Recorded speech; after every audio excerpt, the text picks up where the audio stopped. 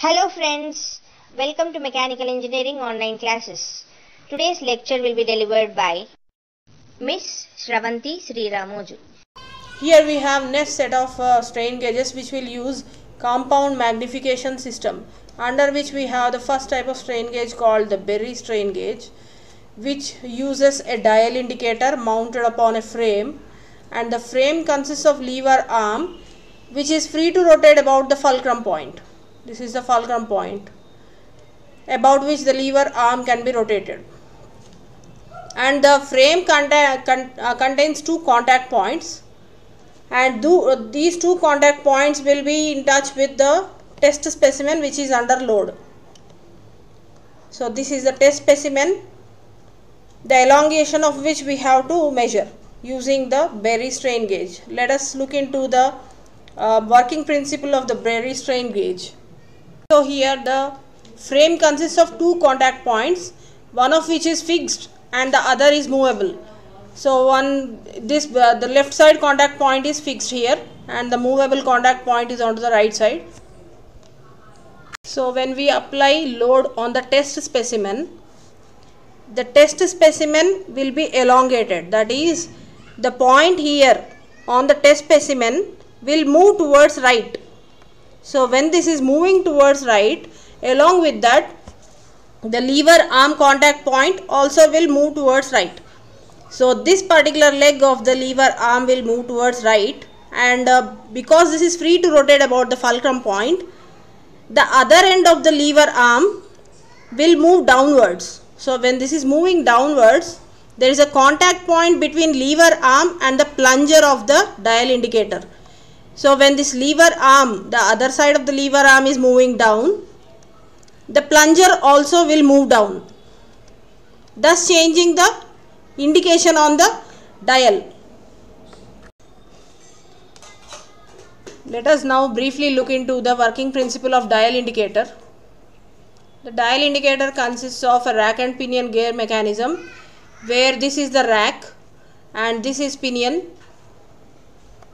and pinion is again mating with another gear.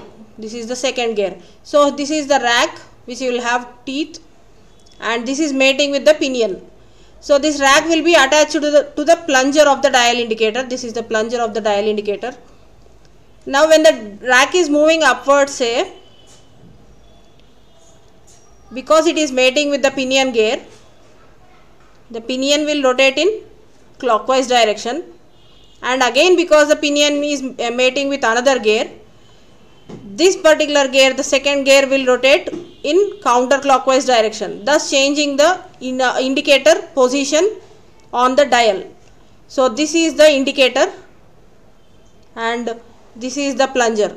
So with the movement of plunger the indicator will change its position. So thereby we can read the uh, read the exact measurement of uh, the change in the distance moved by the plunger now we will see why this uh, Berry strain gauge is called compound magnification system.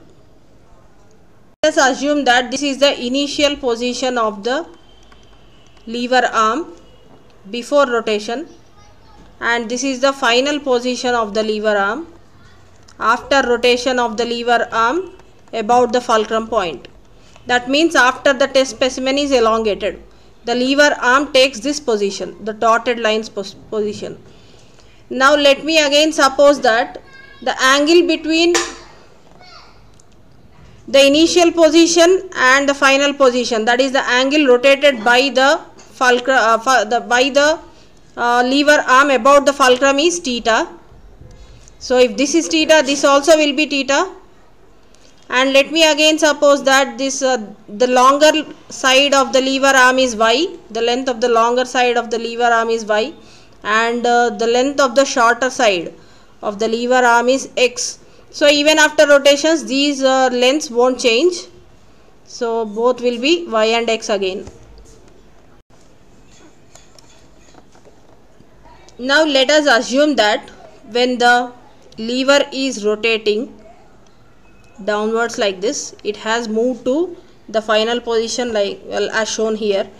The end point of this lever arm will actually trace and a circular path. That means it is a it is a tracing a circular path because it is a rotation.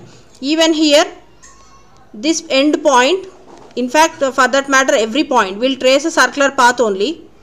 But because the strains will be very small in nature the magnitudes of strains will be very small. So we will assume that this is a straight line. Okay so this straight line length i am assuming that it is y1 similarly the length traveled by the end point of the short, shorter arm is x1 so this also will be an arc but i am assuming that it is a straight line. Now from these two triangles one triangle is this and the, there is another triangle here so I am again assuming that because this is a straight vertical line I will assume that this is 90 degrees and again this is also 90 degrees I will measure sine theta from those two triangles. So sine theta from the first triangle or the bigger triangle is y1 by y. So opposite side by hypotenuse. Similarly from the second triangle sine theta is equal to this will be x1 by x because sine theta the LHS values are same for both the equations I, I can write y1 by y is equal to x1 by x. So by rewriting the above equation like y1 by x1 is equal to y by x. So from this I know the value of y and x. The lengths of the lever arm are already known. And I as I already told y is greater than x because this is a longer side of the lever arm. Y will be definitely greater than x so this particular term will be greater than 1 so from this I can conclude that the actual elongation of the test specimen is actually x1 units but it is showing y1 units on the dial, indicator that means for a small elongation of the test specimen the meter reading or the dial indicator reading is magnified because y1 by x1 is greater than 1. So big why I am saying that x1 is the actual uh, elongation of the test specimen is because this particular point at the end point of the shorter arm is in contact with the test specimen. So how uh, whatever test specimen is elongated whatever whatever amount is uh, the test specimen elongated that itself is actually moved by the shorter arm of the lever. So for a shorter displacement of the shorter arm, the dial indicator is showing a bigger measurement. That means the, uh, the actual uh, actual reading is magnified and showed on the dial indicator and hence it is called compound magnification system and with the help of Berry strain gauge measurements of strain to the nearest of 0.005 mm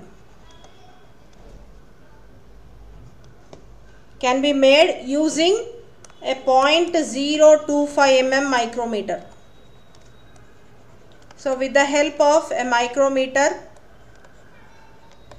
0.025 mm micrometer we can measure nearest value of 0.005 mm.